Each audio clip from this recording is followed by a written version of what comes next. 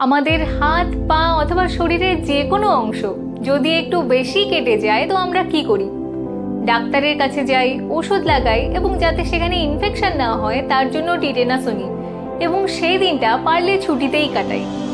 কিন্তু এমন একজন সেনা ছিলেন, যিনি নিজের পা নিজের হাতে কেটে ফেলেন। যুদ্ধক্ষেত্রে তার পায়ে প্রচণ্ড পরিমাণে আঘাত লাগে এবং সেই আঘাত থেকে তার পা পচতে শুরু করে।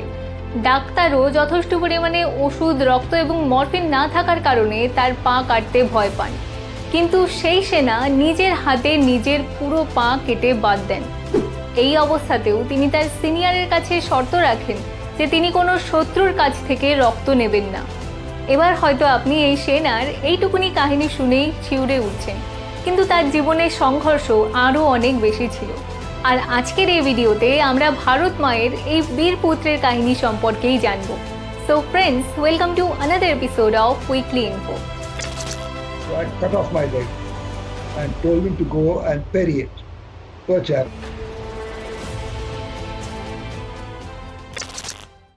সত্তরের দশকে পাকিস্তানি সেনাদের করা অত্যাচারে বিরক্ত হয়ে পূর্ব পাকিস্তানের লোকজন ভারতে পালিয়ে আসতে বাধ্য হয়।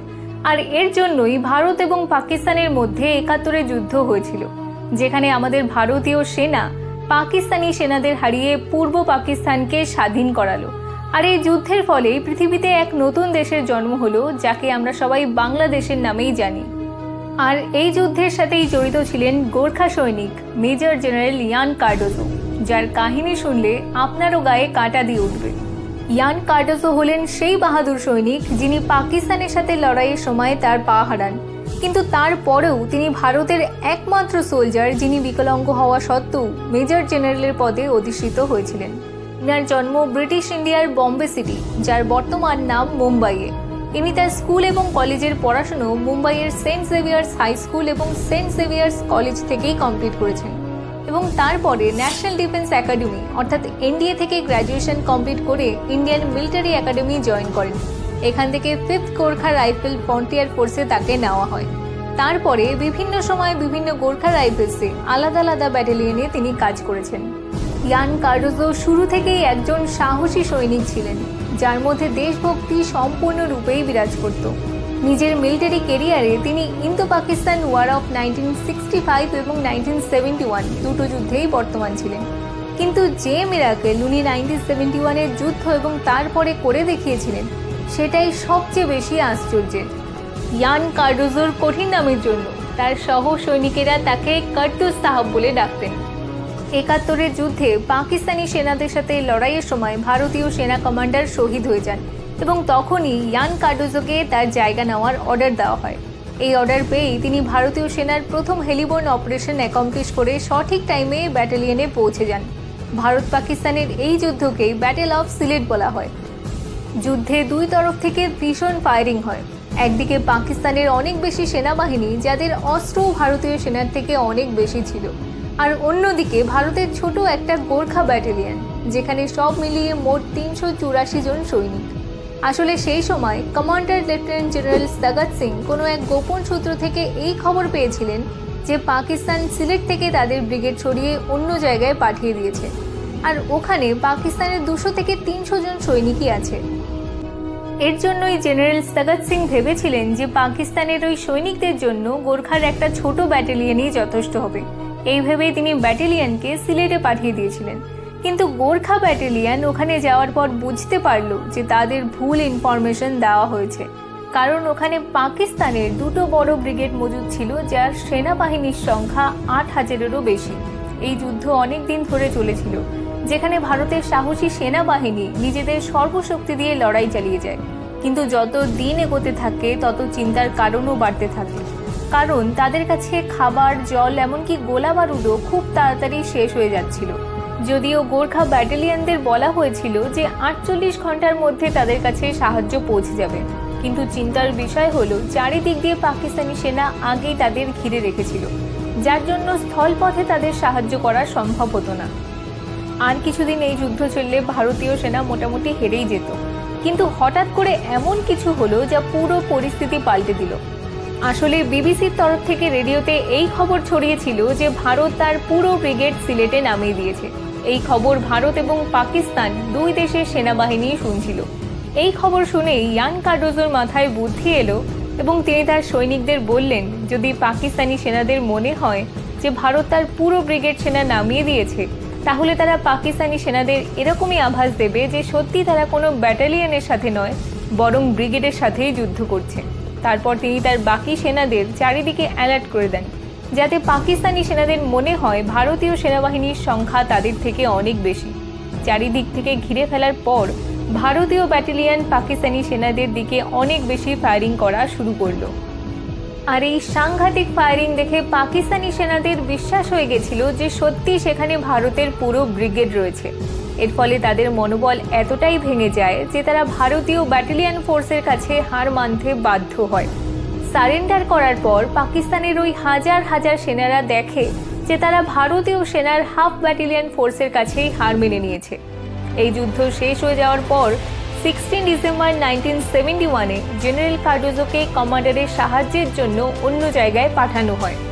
কিন্তু ওখানে যাওয়ার পর পাকিস্তানি সেনাদের দ্বারা বিছিয়ে রাখা মাইন্সে তার পা পড়ে এবং মারাত্মক এক্সপ্লোশনে তার বা পা ক্ষতবিক্ষত হয়ে যায়। যুদ্ধক্ষেত্রের মেডিকেল ক্যাম্পে নিয়ে যাওয়ার পর একজন জুনিয়র ডক্টর তার পায়ের পরীক্ষা করলেন। কিন্তু যুদ্ধের কারণে সব মেডিকেল ইকুইপমেন্ট এবং মেডিসিন আগেই শেষ হয়ে গেছিল। যার জন্য ডক্টর শত চেষ্টা সত্ত্বেও তার কোনো ট্রিটমেন্ট করতে পারলেন না। এই সিচুয়েশনে ইয়ান কার্ডোজো মেডিকেল সাহায্যের জন্য অনেকক্ষণ অপেক্ষা করতে থাকলেন। কিন্তু অনেক ঘণ্টা অপেক্ষার পরও যখন কোনো সাহায্য পাওয়া গেল না, তখন তিনি ডক্টরকে তার পা কাটার জন্য বললেন। জেনারেল কার্ডোজোর মনে আশঙ্কা ছিল যে তার ক্ষত পা পচে না যায়। কিন্তু সেই ডক্টরও তার পা কাটার জন্য সোজা নাকচ করে দিলেন। কারণ ওই সময় ক্যাম্পে মেডিকেল ইকুইপমেন্ট তো দূরের কথা, মরফিন বা অন্য কোনো পেন কিলার অবধি মজুদ ছিল না। ডক্টরের বারণ করার পর তিনি তার সাথী জওয়ানকে তার পা কাটার জন্য বললেন। কিন্তু সেই জওয়ানও এই কাজ করার সাহস পেল না।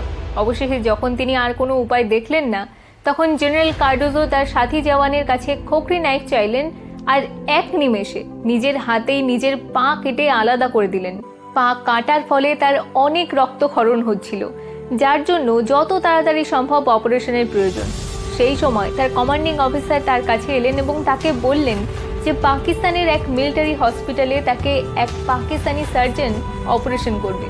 কিন্তু জেনারেল কার্ডোজো পাকিস্তানি ডক্টরের কাছে নিজের ট্রিটমেন্ট করাবেন না বলে পরিষ্কার জানিয়ে দিলেন।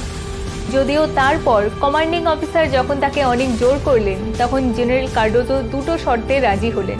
প্রথমত, কোনো পাকিস্তানি রক্ত তিনি নেবেন না আর দ্বিতীয়ত, অপারেশনের সময় যেন কমান্ডিং অফিসার তার পাশেই থাকে। কারণ তার মনে সন্দেহ ছিল যে পাকিস্তানি সার্জন হয়তো তার আর একটা পাও কেটে নিতে পারে। কমান্ডিং অফিসার যখন তার শর্ত মেনে নিলেন, তখনই ওই হসপিটালেই অপারেশন কমপ্লিট হলো। তারপর তার অবস্থা একটু ভালো হওয়ার পর পুনের এক আর্মি হসপিটালে ট্রান্সফার করা হলো। আর তার পায়ের জায়গায় লাগানো হলো নকল পা। সুস্থ হওয়ার পর যখন তিনি তার সার্ভিস জয়েন করেন, তখন সিনিয়র আর্মি অফিসার তাকে বলেছিলেন যে বিকলাঙ্গ হওয়ার জন্য তিনি আর কোনো দিনও কোনো ব্যাটালিয়নকে লিড করতে পারবেন না। আর এবার থেকে তিনি শুধুমাত্র আর্মি স্টাফের কাজই করবেন। কিন্তু ইয়ান কার্ডোজোর মতন বাহাদুর সৈনিক এত সহজে কি করে হার মেনে নিত? তিনি তার সিনিয়র অফিসারদের বললেন, এই অবস্থাতেও তিনি বাকি সোলজারদের হারাতে পারবেন। এরপর তার ফিটনেস প্রমাণ করার জন্য তার ব্যাটেল ফিজিক্যাল টেস্ট করা হলো, যেখানে তিনি এমন সাতজন সোলজারদের হারালেন যাদের দুটো পায়ে সুস্থ ছিল। উনি সেই সোলজারদের শুধুমাত্র দৌড়েই হারাননি, বরফ ঢাকা পাহাড়ে চড়াইও হারিয়েছিলেন। তার এই সাহসী মনোভাব এবং ফিজিক্যাল ফিটনেস দেখে তার ব্যাটালিয়ন তাকে ফেরত দেওয়া হয়। তারপর উনিশশো সময় তাকে ব্রিগেডিয়ারের পদেও সম্মানিত করা হয়েছিল। এইভাবেই উনিশশো একাত্তর থেকে উনিশশো তিরানব্বই পর্যন্ত তিনি নকল পায়ের সাথেই ভারতীয় সেনাকে সেবা করেছিলেন। উনিশশো তিরানব্বই সালে তার কর্মজীবন থেকে রিটায়ারমেন্ট নিয়ে তিনি বর্তমানে দিল্লিতে রয়েছেন। সো ফ্রেন্ডস এটাই হলো ভারতের রিটায়ার্ড মেজর জেনারেল ইয়ান কার্ডোজোর জীবনী। ভারতে এরকম অনেক সৈনিক রয়েছেন যাদের জীবনে এরকম অনেক ঘটনা ঘটেছে, কিন্তু তাদের সম্পর্কে আমরা হয়তো জানতেও পারি না। এই সৈনিকদের প্রতি এবং তাদের পরিবারের প্রতি আমরা সব সময় কৃতজ্ঞ থাকব। ভারতের পঁচাত্তরতম স্বাধীনতা বর্ষে আপনাদের সকলকে জানাই হ্যাপি ইন্ডিপেন্ডেন্স ডে আজকের জন্য এইটুকুই। দেখা হচ্ছে খুব তাড়াতাড়ি পরবর্তী ভিডিওতে ধন্যবাদ।